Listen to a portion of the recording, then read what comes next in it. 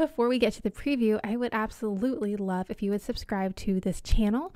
If you love all things Hallmark, Up TV, GAC, Lifetime, Netflix, basically any of the networks or streaming services that offer made for TV movies, this is your channel. So click the little subscribe button and you will be notified of all of the rankings, interviews, recaps, and previews. I would really appreciate it. But let's get to the preview. And then finally, we have Groundswell airing on August 21st with Lacey Chabert, Ektor Rivera, and Katie Lee Biegel. Lacey's been in like what, 5 million Hallmark movies, so we all love watching Lacey. She's incredible. Ektor Rivera was in Sugar Plum Twist, which came out last year, I think, on the Hallmark Movies Now app. So he's done a Hallmark movie before. Super cool. He was in The Shallows, which that was like a really crazy, intense shark movie with Blake Lively. So this is very different for him, but he's obviously really successful and it'll be really fun to watch him in this.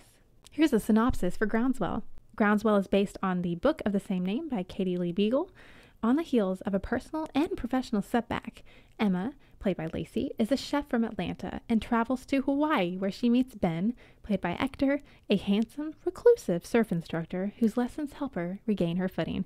So we're going to have a Hawaii movie. Who doesn't love a beautiful Hawaii movie? Plus Lacey, plus this awesome actor and Ektor.